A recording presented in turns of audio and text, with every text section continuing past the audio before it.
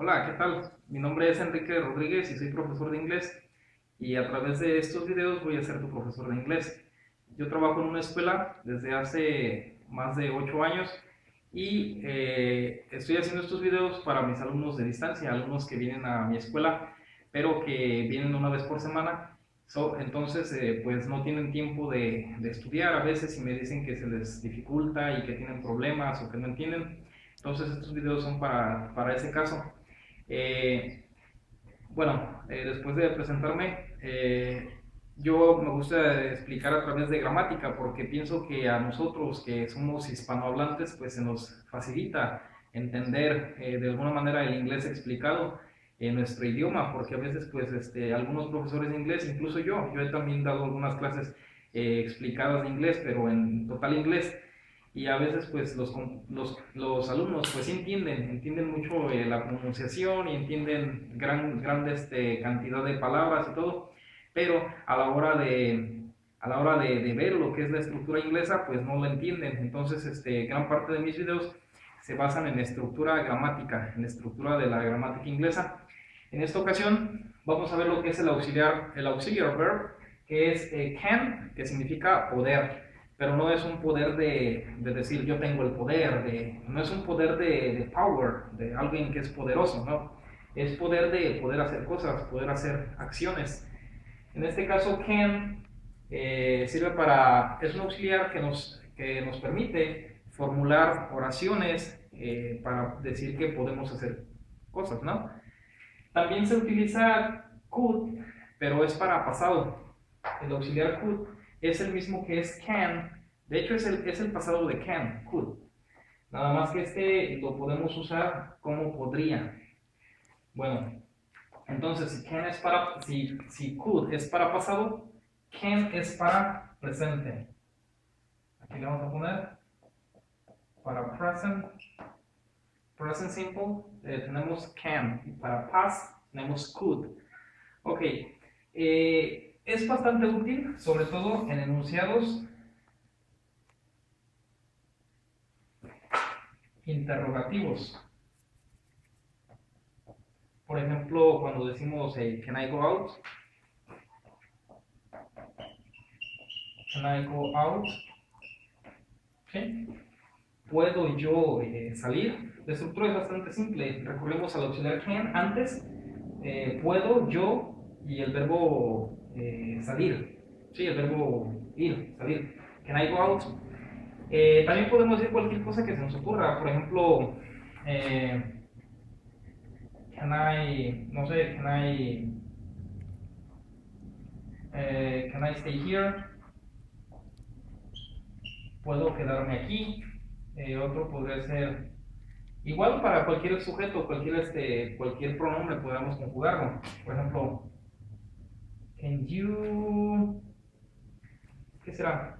Eh, puedes tomar un recado por mí. Can you take the message?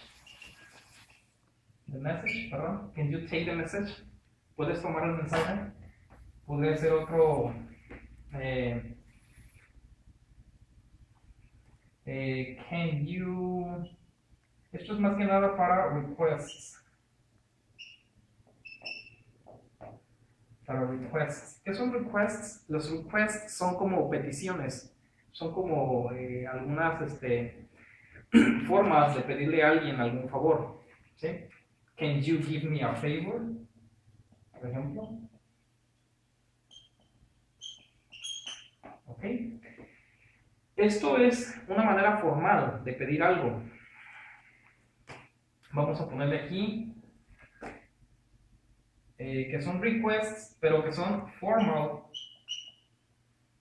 formal requests, que son este, peticiones formales. Usamos eh, can o usamos could. Could significa podría, eh, en este caso para pasado, pero también nosotros podemos usar could en tiempo presente para formular algunas requests, algunas peticiones, pero más formales. Por ejemplo, ¿podría yo poner con could todas estas? Donde dice can, todo podría hacerlo con could. Por ejemplo, eh, could I go out? Vamos a poner otra que es más, este, más, usual, ¿no? Por ejemplo, Could you open the door? ¿Qué tal que le agregamos please? Could you open the door, please?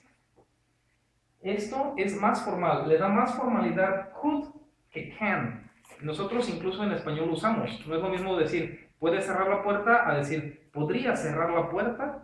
Y todavía más formal cuando le agregamos please. Could you open the door, please? Could you close the door, please? Y así. Entonces otra, eh, bueno, esto es para requests, para hacer peticiones, ¿no? Para hacer este, para pedir favores. Eh, también usamos can en el modo negativo.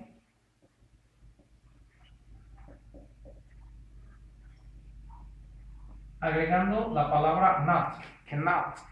¿Sí? Cannot. Esto es no poder. Por ejemplo, eh, I can, I can, vamos a poner, I can play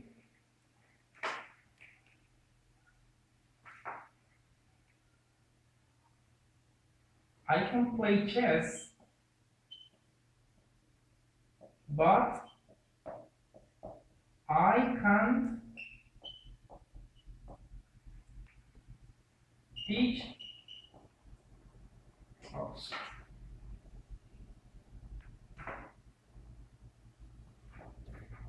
Chess. I can play chess, but I can't teach chess. Puedo jugar ajedrez, pero no puedo jugar ajedrez. ¿Ok? Una manera de simplificarlo es borrando la palabra chess para no repetirla y usando it, el pronombre it, de hacer referencia al ajedrez. Puedo jugar ajedrez, pero no puedo, pero no puedo enseñarlo, ¿ok? Hay mucha gente que sabe inglés, pero que no puede enseñarlo, ¿sí? Otro sería, este, bueno, en este caso, eh, can, lo vamos a hacer cannot o lo podemos manejar con can't, ¿sí? La manera de pronunciar can es con la, con la, T al final, que suene, can't, I can't, ¿sí? Eh, una forma fácil de usar can es I can, I can do it. Yo puedo hacerlo. I can do it. Otra de negar. I can't do it. I can't. I can't. I can't do it. ¿Sí? Este, para nosotros los latinos es a veces como que un poquito difícil, un poquito este, complicado el pronunciar can y can't, o sobre todo las diferencias. Pero en el idioma inglés es bastante notorio, sobre todo por la T que suena I can't. I can't do it. ¿Ok? Eh, en el modo, bueno, esto es para, para, negar, para decir cosas o acciones que no podemos hacer. Usamos can't y usamos eh, can't para decir lo que no podemos hacer. Otra cosa de could eh, también se usa en el modo negativo. Por ejemplo, eh, cuando dijéramos algo que, que, no pudiste hacer, por ejemplo, eh, last night, last night I could not. Quedamos que could es pude o podría. En este caso, bueno, aquí lo usamos como podría para hacer las requests, que son las formas, las las formal requests, que son este, peticiones formales, pero en el caso de un pasado simple, estaremos diciendo, anoche no pude, ¿sí? Anoche no pude, y el verbo dormir, I couldn't sleep. Last night I couldn't sleep, o I could not sleep. Bueno, la forma de contraer couldn't, could not, es con couldn't. ¿Sí? Entonces tenemos un could not, couldn't. Y tenemos un can, eh, que viene a ser can't, de manera contraída. O, en su caso, cannot, de manera formal. Ok. Bueno, amigos, pues esto es el auxiliar can, que es muy, muy, este, muy usual para afirmar, para negar y para hacer peticiones o para decir acciones o preguntar por acciones y podemos hacerlas. Es muy formal en el inglés y lo más usual es can y could. ¿Sí? Es tan usual can y could, pero could es más formal todavía. Digamos que, eh, vamos a poner aquí que could es more formal.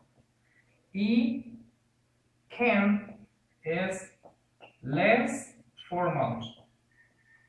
Esto es less formal y esto es more formal. ¿Ok? Bueno amigos, pues este, esto es todo por este video.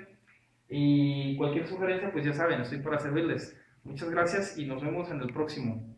Hasta luego.